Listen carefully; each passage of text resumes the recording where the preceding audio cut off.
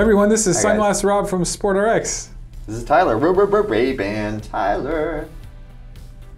yes. Because it's Ray Ban Day. Why is it Ray Ban Day? Because we're talking about Ray Bans. There's a special. There's a special thing. We're Okay, so here's today. what this video is about. This video is about the difference between the Ray-Ban New Wayfarer 2132 and the Ray-Ban No Tilt Wayfarer the 4340. However, I'm tricking all of you because I'm throwing in a 2140. Because how do Oh. you start this conversation Without without, the 2140? So what I'm wearing here is such the original Wayfarer.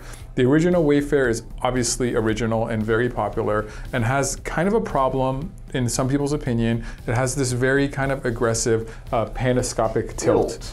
Um, so Ray-Ban kept this one around because it still sells really well. However, they came out with the new Wayfarer and now the no-tilt Wayfarer. So if you're over the original Wayfarer like me and you want to try and decide which version of Wayfarer to get, you're probably thinking, hmm, maybe I should get the 2132 or hmm, maybe I should get the 43 hmm, 40. Hmm. Okay, so what are the differences?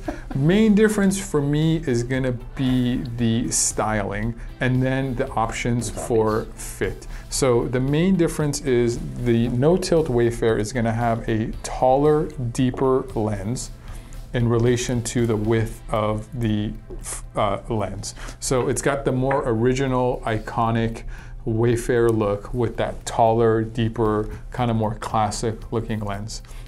Then if you get into the 2132, it's going to be a little bit more of a narrow lens.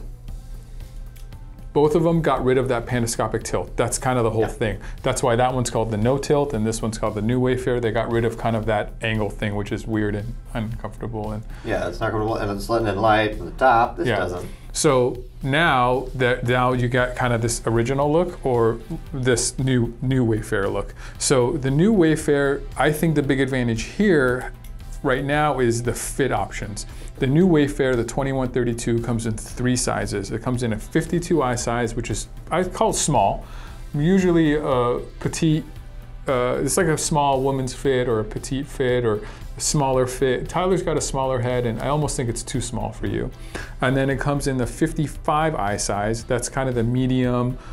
One size fits most. Kind of usually fits most guys or uh, less petite women. And then they came out with a new one, which is about a large to extra large. That's my new favorite uh, Ray-Ban. This is the 2132 in the 58 eye size. This is this is the big eye size. I saw I saw that.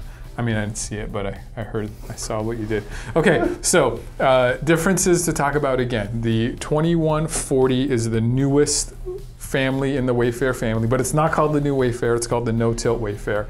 And that's the original, still the Wayfarer, original Wayfarer. without the tilt.